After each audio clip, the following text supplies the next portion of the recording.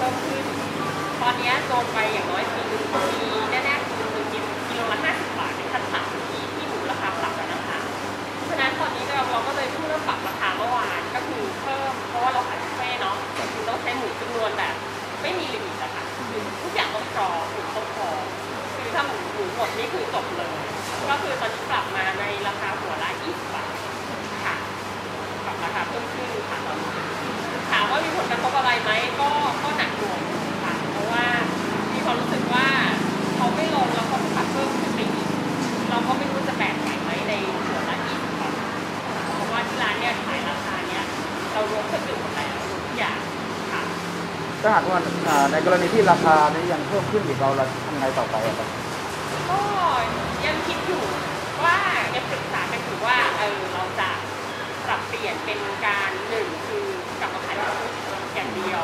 กับสองปรับราคาเพิ่มขึ้น ซึ่งเราก็ไม่รู้ว่าลูกค้าจะไหวไหมกับเรานะคะแต่ถ้าเกิดลูกค้าที่รับได้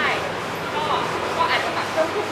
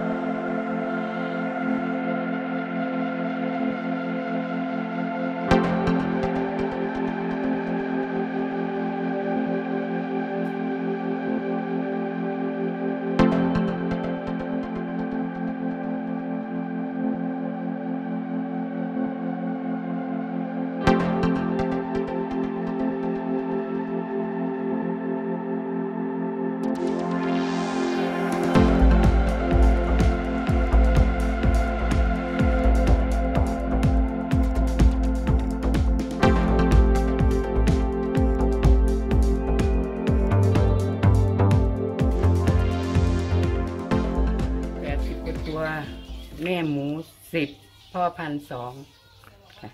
อืมตอนนั้นโรคระบาดตอนไหนระบาดกันยาหรืออ่าปลายกันยาก็มาสิงหา อืมตายหมดเลยไหมไม่ตายก็เขานอกให้หมดเลยอืมค่ะ เขามากำจัด ค่ะ แล้วเขาบอกว่าจะได้ค่าตอบแทนยังไง เขาว่าเจ็ดสิบห้าเปอร์เซ็นอืมตอนนี้ได้ยังยังค่ะ อืม